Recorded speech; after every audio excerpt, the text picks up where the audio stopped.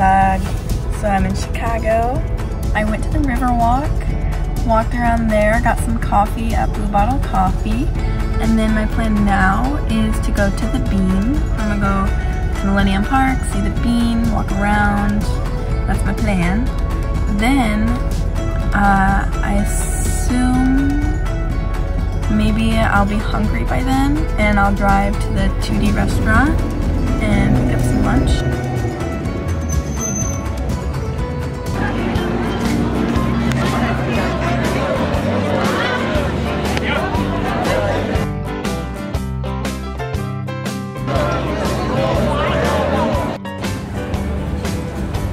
Made it to the bean.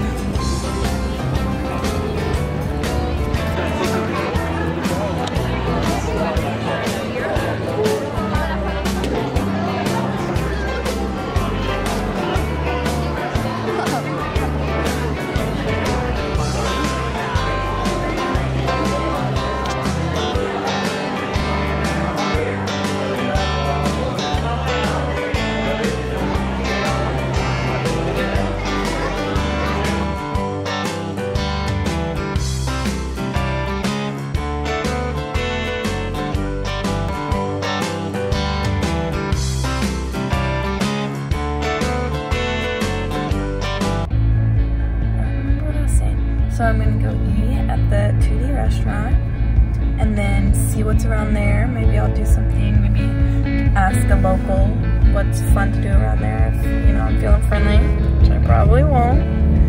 Um, then my plan after that, one thing I wanna do is go dip my toes into Lake Michigan. So there's a beach access that I found that's kind of close to here.